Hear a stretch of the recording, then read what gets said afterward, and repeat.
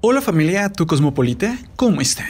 Espero que estén bien, bastante bien. Tal vez lo ames o tal vez lo odies. Aún así, en el último año, has escuchado por lo menos una vez, si no muchas más, en el transporte público, la calle, en un antro o en una fiesta a Ozuna. Y es que es uno de los cantantes más famosos a nivel mundial actualmente. Y es que sus canciones de Te boté, El farsante, Me niego, Vaina Loca y Taki Taki fueron escuchadas miles de millones de veces por miles de millones de personas en el 2018. Sí, en todas ellas canta dueto con otros cantantes. Aún así, se le ha considerado que él es el que siempre brilla. Es así que sus videos musicales también han sido vistos de igual manera impresionantemente millones de veces. Pero hay un video de él, sin embargo, que no tiene nada que ver con la música y que a su pesar se ha vuelto viral en las últimas horas. Ese es un video íntimo titulado Crónicas Sexuales de Nueva York, en el cual aparece el cantante cuando tan solo tenía 16 años. En el video se ve a Osuna sin ropa, junto a otros chicos tocándose. Ahora bien, Osuna ya dio la cara y ha dicho que considera que este video fue un gran error del pasado y que está muy arrepentido de haberlo hecho y que siempre lo lamentará. Y es que él dijo lo siguiente, y lo mencionaré tal cual, ¿eh? Al igual que muchos jóvenes, cometió un error impulsado por la ignorancia. Hoy no lamento lo ocurrido, sino lo condeno. Estaré atento al proceso y siempre dispuesto a colaborar con las autoridades para evitar que la maldad se aproveche de este gran error. Le pido disculpas a mi familia, que son la prioridad de mi vida, y por ellos seguiré luchando. Y con esta frase concluyó Osuna. Por si fuera poco, advirtió que tomará medidas judiciales, ya que publicar videos de contenido sexual de menores de edad es un delito. Además aclaró que el video fue editado con el fin de causar más daño. También se supo que Osuna había sido extorsionado con este video íntimo.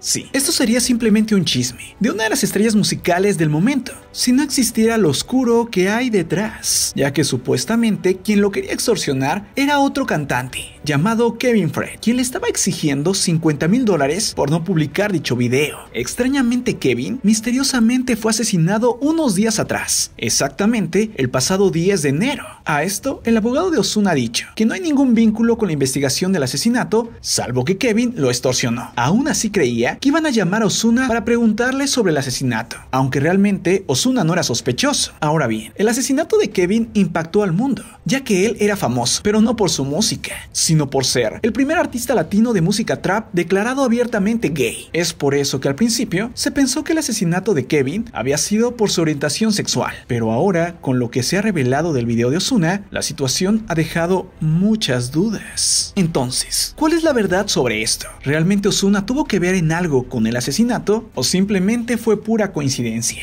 Bueno, no se sabe. Lo que es una realidad es que de los cantantes más famosos del mundo, Osuna, odiado por muchos, amado por otros, hizo un video porno a los 16 años y 10 años después, supuestamente fue extorsionado por este video por otro cantante, el cual no era famoso por su música, pero sí por su preferencia sexual, el cual extrañamente fue asesinado y al poco tiempo el video de Osuna salió a la luz. Algo que hay que dejar muy en claro es que la vida de Osuna no ha sido fácil. Su padre era un bailarín del cantante Vico C y cuando Osuna tenía tan solo 3 años, su padre murió de un disparo y debido a que su madre no pudo mantenerlo por problemas económicos, vivió con su abuela. Es así que desde pequeño tuvo que trabajar. Aún así, luchó por su pasión por el género urbano y a los 12 años empezó a componer canciones. En el 2010, con tan solo 18 años, se mudó de su natal Puerto Rico a Nueva York, donde vivió con familiares durante 3 años más, en busca de una oportunidad en la industria musical. Y gracias a mucho esfuerzo y trabajo, está en donde está ahora. Pero todo podría quedar destruido por un error de su pasado.